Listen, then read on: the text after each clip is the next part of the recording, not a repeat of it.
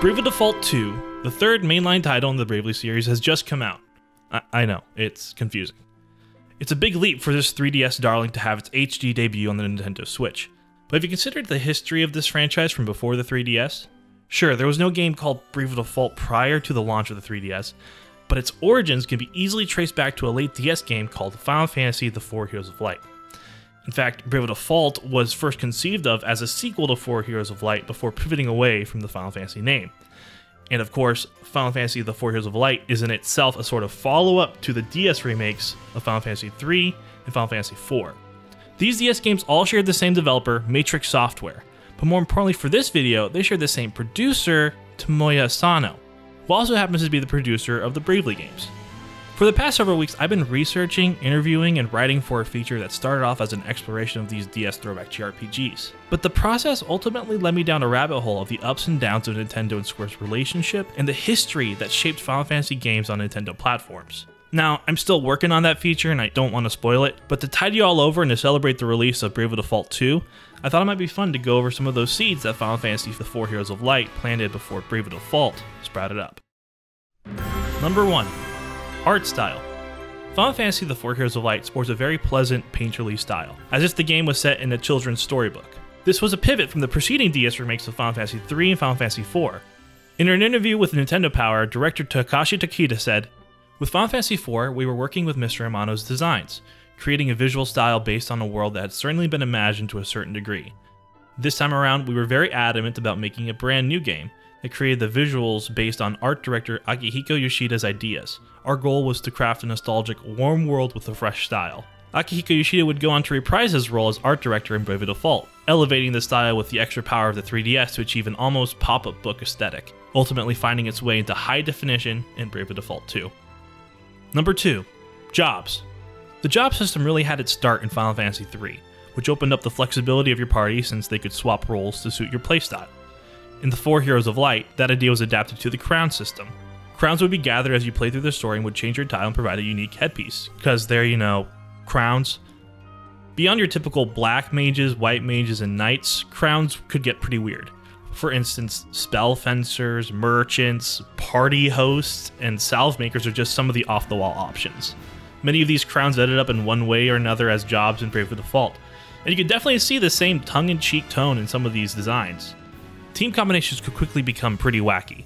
But let's be honest, that's definitely part of the fun and charm for all these games. Number 3. Combat. Bravely Default wouldn't be Bravely Default without, you know, the battle commands Brave and Default. Banking an extra action or burning several all at once is the series' secret sauce that spices up the tried and true turn based JRPG formula. Now, the Four Heroes of Light doesn't have this exact combat system in place, but those who play this hidden DS gem will likely see the connections. Your combat choices in Four Heroes of Light are determined by your action points, or AP. An attack may cost only 1 AP, while a magic spell may cost 2. The way you store more AP is by boosting, kind of like defending, much like how defaulting works in Bravely Default. There are some more noted differences, however. Having more AP is not like having more BP.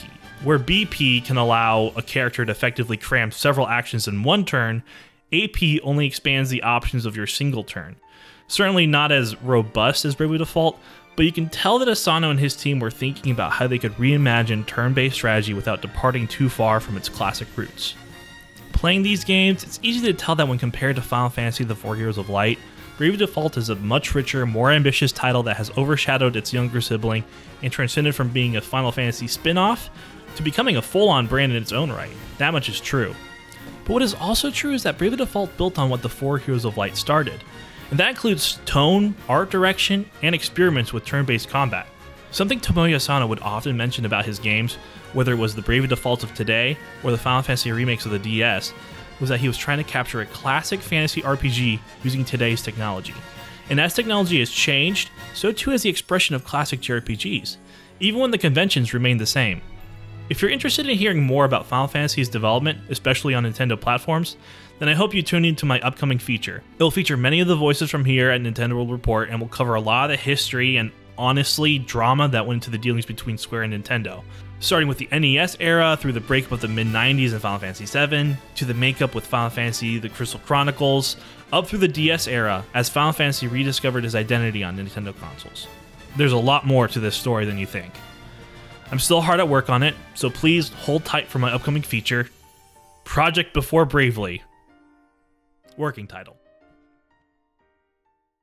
This video is made possible by our generous supporters on Patreon. Did you know that Nintendo World Report is funded directly by fans like you?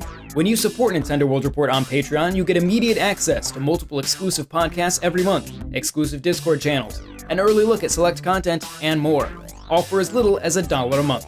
Check out patreon.com slash NWR for all the details.